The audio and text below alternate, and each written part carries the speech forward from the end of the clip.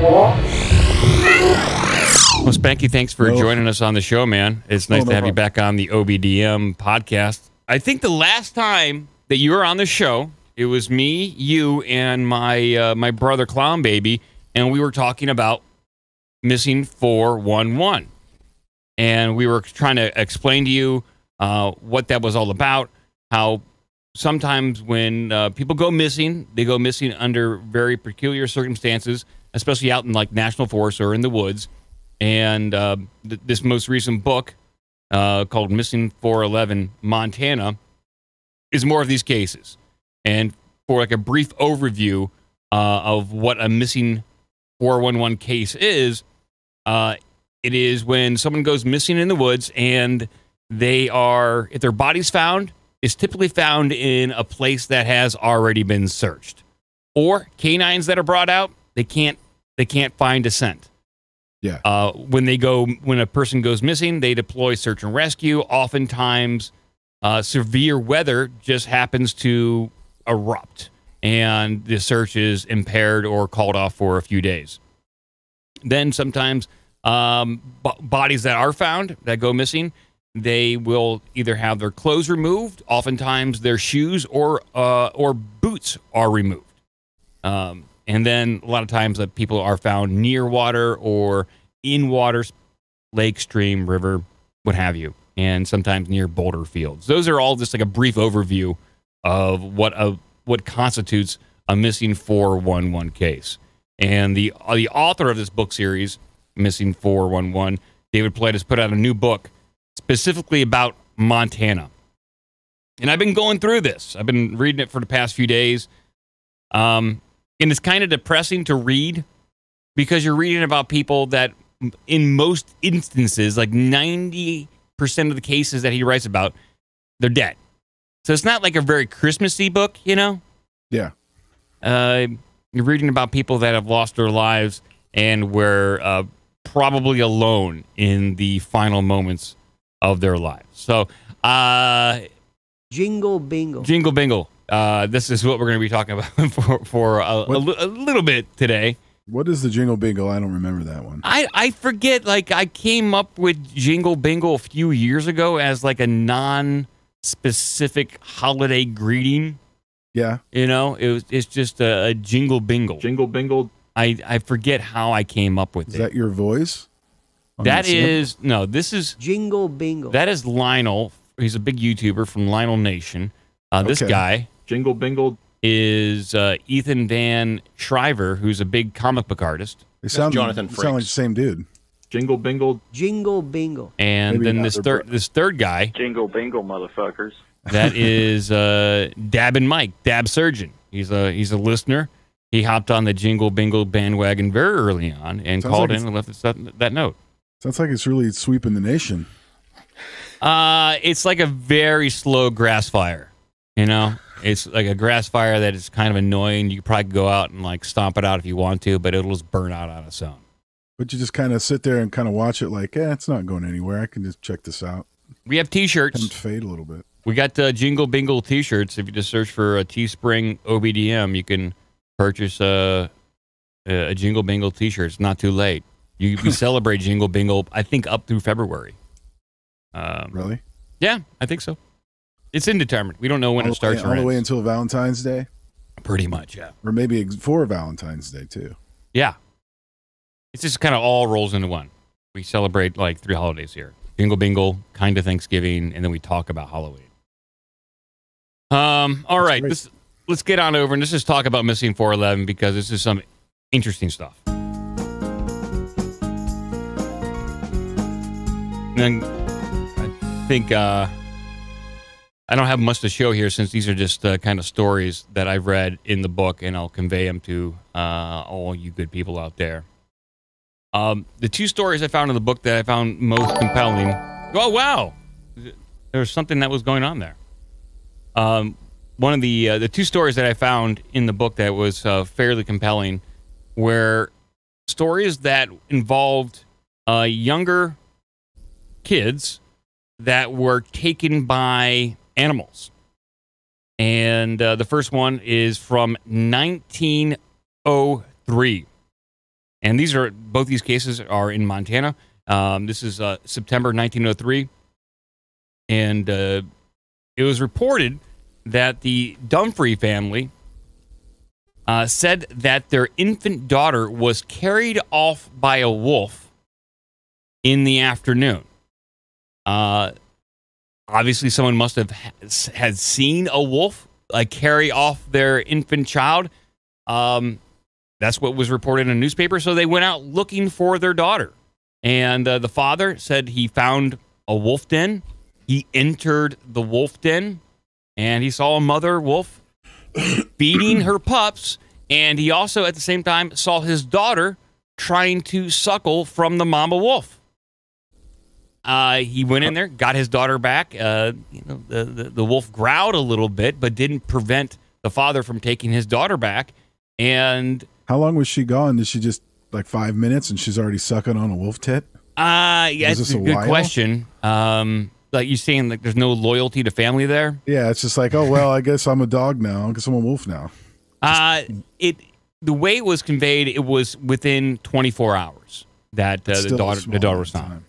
You figure the kid could go without milk for 24 hours. I know. You're, you know, but uh, free meal's a free meal, Spanky.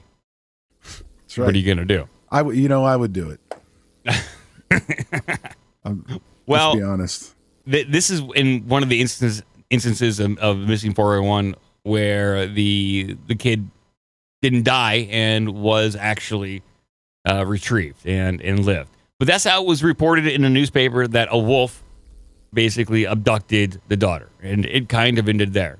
Found to be curious from 1903. Uh, the second one in the, the book that I want to touch on is from 1955 and this involved and this is July 4th 1955 and the the kid who disappeared was Ida Mae Curtis. And her age was 2 years old. And this was in the uh Coon Tinney National Forest um near Libby Montana so this is a Mike, that's Kootenai. Just FYI. Kootenai Yeah. And what was the other Kootenai? other one? Liberty, uh Libby Montana Libby. Okay, that's Yes, like a, a town. Um, so this is this is at a big logging camp. The father, Mortimer Curtis, was a logger, and all the loggers decided to bring out their families to to the camp for Fourth of July, probably to set off fireworks and just have a, a nice uh, a camp and, and picnic with each other. In the late afternoon, Ida and her brother Cecil were in their tent when they said a bear entered the tent and carried Ida off. Uh, it was stated that Mortimer's father saw a bear in the woods about that time. Now, the the kid Cecil said that his uh, his sister was carried off by the bear, and as it picked up uh, his sister with one arm, it ran off on three legs. That's what the kid said, and the grandpop Mortimer said he did see a bear in the woods at the time.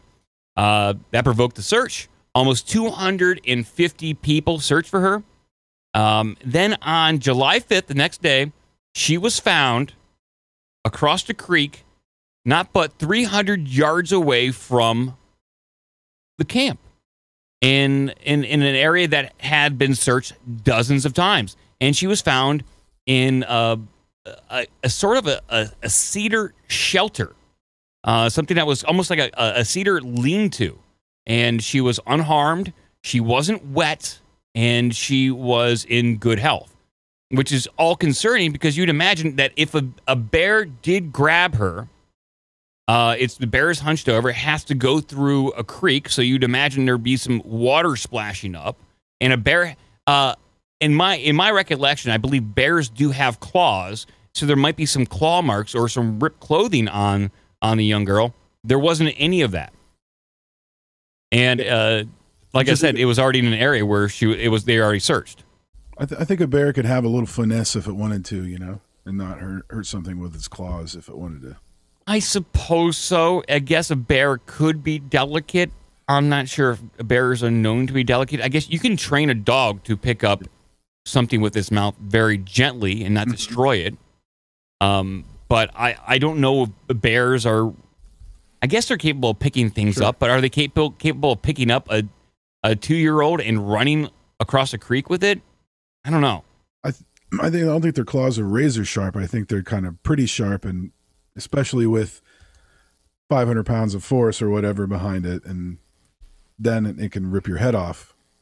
But they're probably just as sharp. They probably you can probably touch it without getting cut. As It's possible. It was cool. Uh, I'm I'm I'm saying that it is it's it's not uh, impossible. I just think it's unlikely.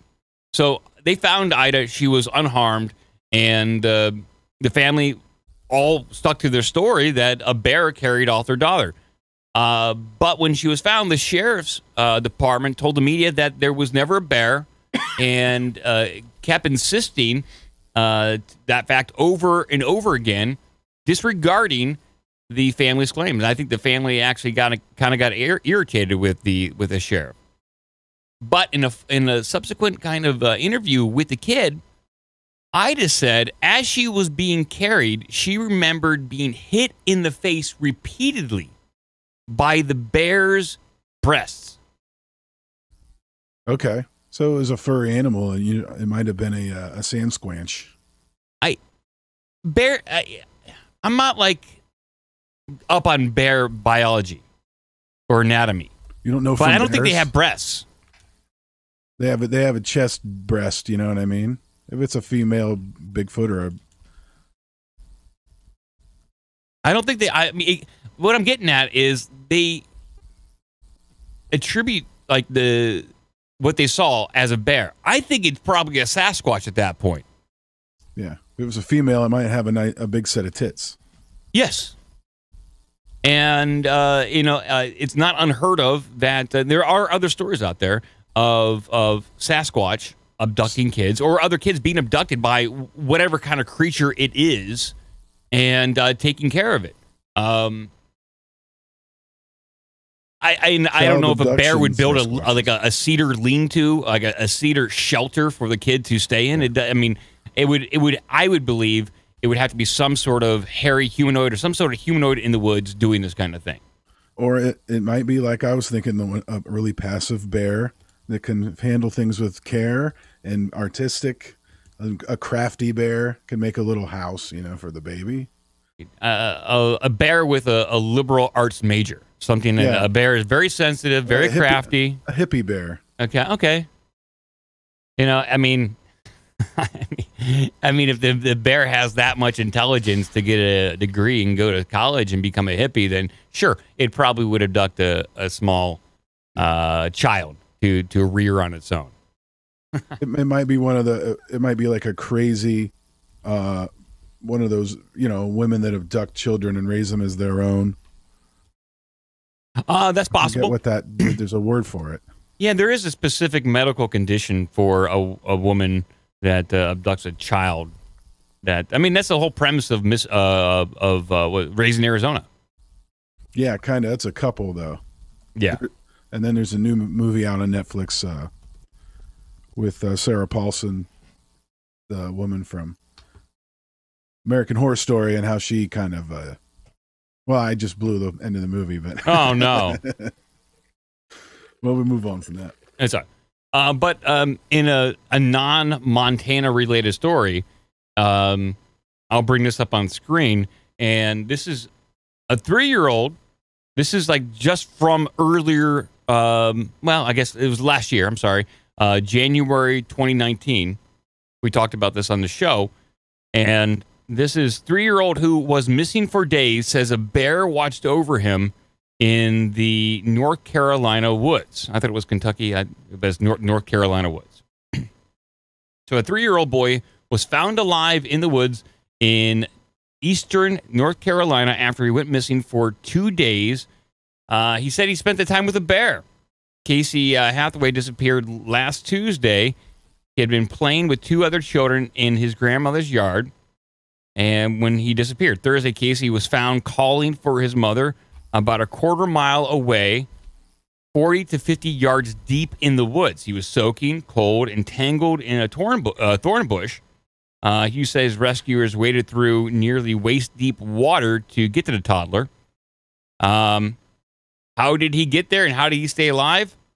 Uh, quote, he hung out with a bear for two days, is what his aunt said. And she shared that in a now private Facebook post. She said It- hung out. Hung out with a bear. Oh, right. Uh, his aunt called it a miracle and said God sent him a friend to keep him safe. Casey's mother gave authorities the same report, and he said a f- he had a friend in the woods that was a bear. Sheriff Hughes told USA Today. Sounds You like said the- guy. He said Hughes uh, Hughes said bears are common in the area, but he thought the comment was more more cute than factual. This kid was three. Um, Does he remember the bear? I mean, three-year-old kids can talk most of the time and tell you what happened. Uh yeah, that's that's. Uh, I I think these kids are just seeing what they are used to seeing, and it could be. It very well could be some sort of Bigfoot, some sort of uh hairy human that is watching over these kids, maybe abducting them. Like this this kid was found just 40 to 50 yards into the woods. And if I remember correctly from the story, it was just 1,500 feet from the house and about uh, 50 feet up on like this, this ledge. Now, that is an area that I would assume w- would have been searched within the three days that the search and rescue had. Just like this, the previous story from Ida, she was found 300 yards from a campsite in, a, in an area that was definitely searched by search and rescue. And she appeared there um, out of the blue. Uh, this kid, uh, you'd imagine he would be crying the entire time, throwing a fit because it's cold, he's scared, he's alone. They would have heard him through, throughout those three days. They did not. He just he was there, and the bear was looking after him. Uh, I just think that there's a there is definitely something to those last two stories. The the wolf carrying off the kid in the first story.